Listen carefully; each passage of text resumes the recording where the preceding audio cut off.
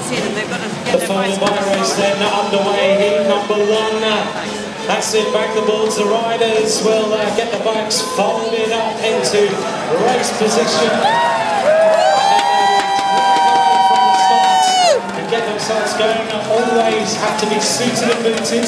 Some nice attire here from uh, many of these riders, looking good. And one rider, as usual, left on the start line. Come on, let's encourage all these riders off the start line now. And they're all underway.